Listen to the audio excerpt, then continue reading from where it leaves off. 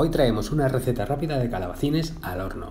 Vamos a ver qué lleva. Tenemos dos calabacines, le quitamos el extremo y los partimos por la mitad. Le hacemos unas rajitas y añadimos sal al gusto, pimienta negra al gusto y aceite de oliva virgen extra. Una vez hecho esto, los vamos a colocar en la bandeja del horno, los vamos a tapar con papel aluminio y 8 minutos a 200 grados. Después los sacamos y continuamos añadiendo ingredientes. Primero el tomate natural, después unas lonchas de queso tierno, después orégano. Luego vamos a poner jamón serrano, un poco de queso, que vamos a utilizar tres quesos, tomates cherry y un poquito más de orégano.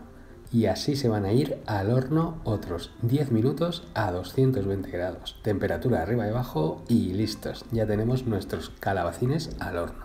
Espero que os hayan gustado. Hasta luego.